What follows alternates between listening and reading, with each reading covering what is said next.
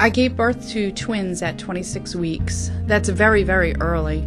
I was in this instant role of not just a mom, but a mom of two, and two who were very tiny and had all of these problems. We spent three months in the neonatal intensive care unit. One of my sons was on oxygen when he came home. Everything just spiraled out of control. Siobhan helped me through those early days. So, like Laura's twins, my son was born at 26 weeks, and my life completely changed. That experience made me realize I could support families the way that I needed the support. I became a parent consultant. Basically, what we do is empower families to be their own advocate. We're the family support, helping them navigate community resources, advocating for them, and giving them the tools and educating them to be an integral part of their child's care team. But most of all, we listen. Sometimes the parents need someone who has been there who can say, Let me listen to what your needs are.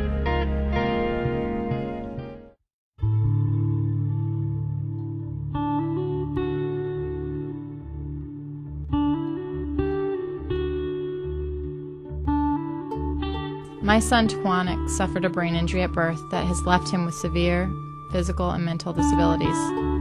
I was completely overwhelmed, and the staff uh, referred me to a parent consultant who has a son with cerebral palsy. When she first called, all I did was cry. It was just a huge emotional support to have somebody who's been there to understand where you're coming from. Finally, she said, How about I set you up with a support group? I can say in hindsight, her knowledge of where I was at emotionally her patience and persistence in getting me into a support group went a long way to help me accept what I had to deal with.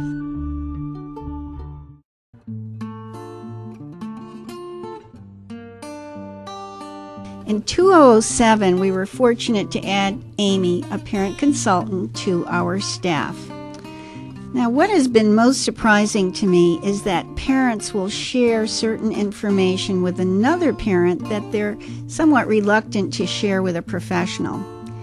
In one instance, a child was having some breathing problems. It was the middle of a cold winter. The physician said to the parent, why don't you take the child initially into the bathroom, turn on the shower, turn on some real hot water, and sit in the steam for 10 to 15 minutes with the baby to see if he improves? And the parent said, okay. Then the parent consultant came in, and the parent then told her, Our hot water was turned off a couple of months ago. We haven't had hot water for a long time.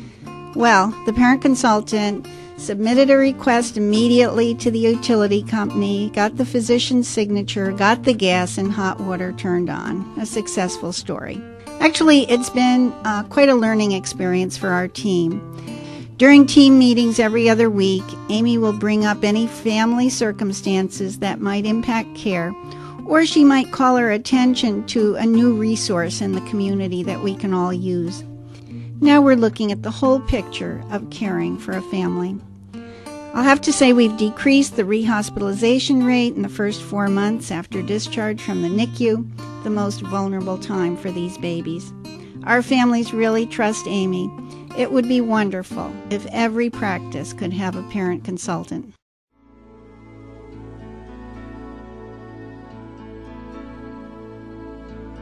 We started PPEP because there was a disconnect between where people were going for help and where services were available. A lot of families were asking their physician for help with equipment or housing or education or other community programs, and there were a few physicians who were committed to this population who felt disconnected from the larger system of care. So we met with our partners and started a pilot in eight sites. We put trained parents of kids with special health care needs in physicians' offices to link families to resources and services. Today we have parent consultants in 24 sites. They've served about 4,200 families over five years. It's been very successful. Families feel more confident taking charge of their children's care, and we've heard from doctors that for the first time they can ask, Is there anything else I can do for you? without being afraid of the answer. It's also proven cost effective since kids participating in the PPEP use inpatient and emergency services less as their care is coordinated. For a state leader, the PPEP provides a way to hear how programs are impacting the community and how you can improve upon them. Having a direct feedback loop from families ensures that your state is meeting the Title V mandate of making it easier for families to access services. The program really tries to address barriers for families, making it easier for families to connect, making it easier for families to have the right um, and appropriate and adequate level of care that they need. PPEP has proven to be an effective model for delivering a patient centered medical home for children with special health care needs, something that will become increasingly important as we implement health reform.